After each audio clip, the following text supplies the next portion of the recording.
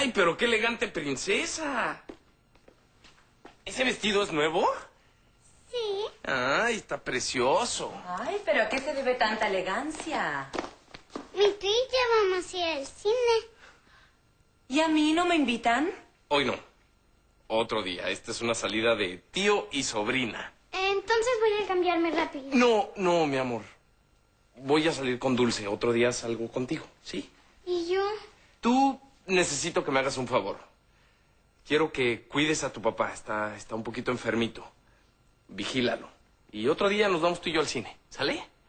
Perdón, ¿y yo? Tú.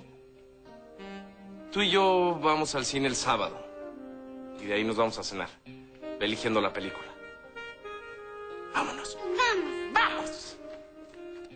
¿Y por qué no entramos? Bueno, te lo voy a decir. Pero no le puedes decir a nadie. Es un secreto entre tú y yo. Sí. Estamos esperando a Frijolito y a. ¿Y a quién más? Si no me das un besito, no te lo voy a decir. No, pero ese, ese besito es muy chiquito. Yo no voy a revelar el secreto por ese besito. Ese sí es un besote. Bueno, estamos esperando a Frijolito.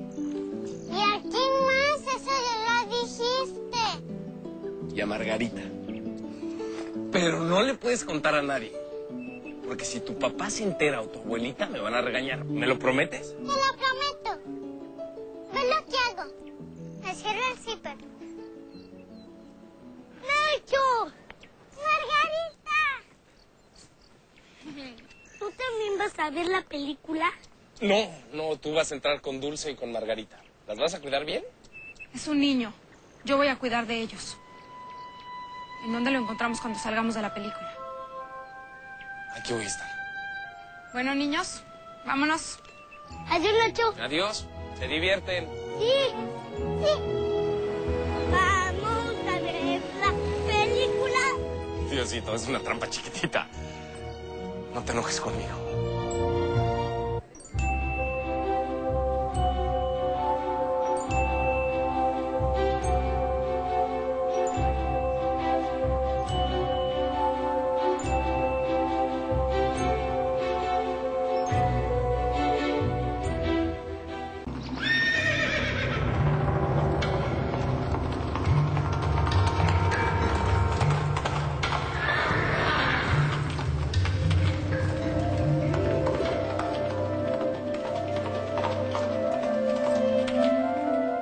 Tenía cuatro boletos. Te hice trampa.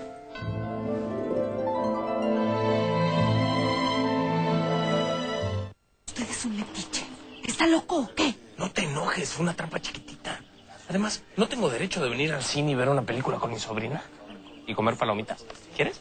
No, cómasalas usted solo. O si quiere con su sobrina. Yo me voy. Además, como usted se queda con su sobrina, no es necesario que yo me quede también.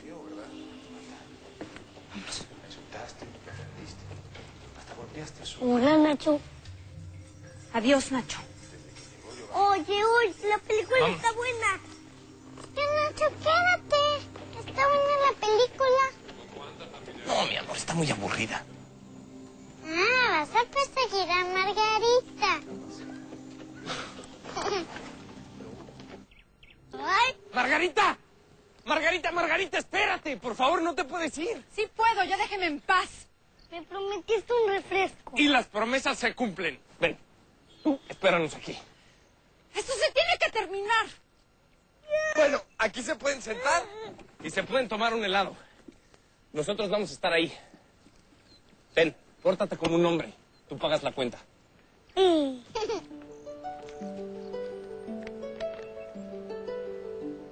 ¿Tú sabes cómo se porta un hombre?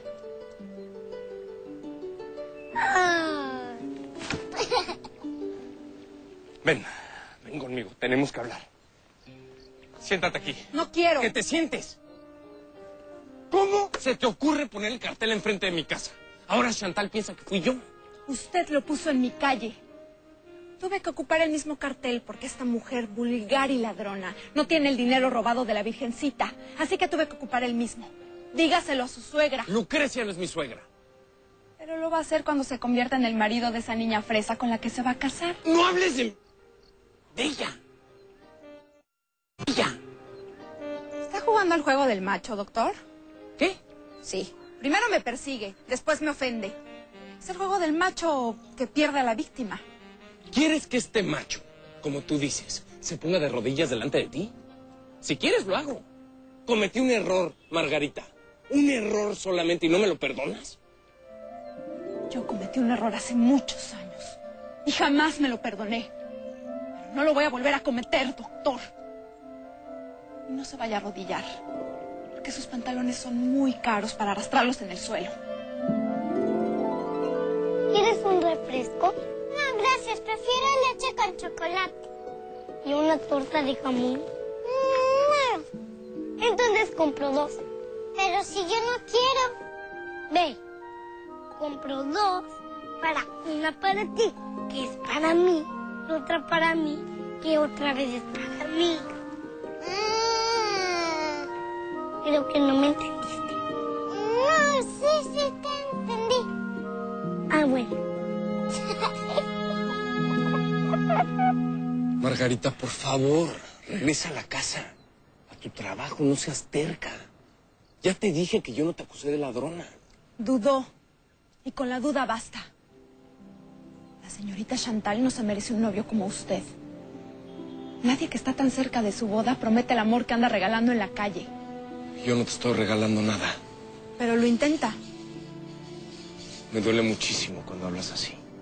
Yo no soy la que le causa dolor, doctor. Es su conciencia. Pero ya te dije Ay, que- sí, ahora resulta que nadie fue. Cuando se inventaron las excusas, se acabaron los culpables.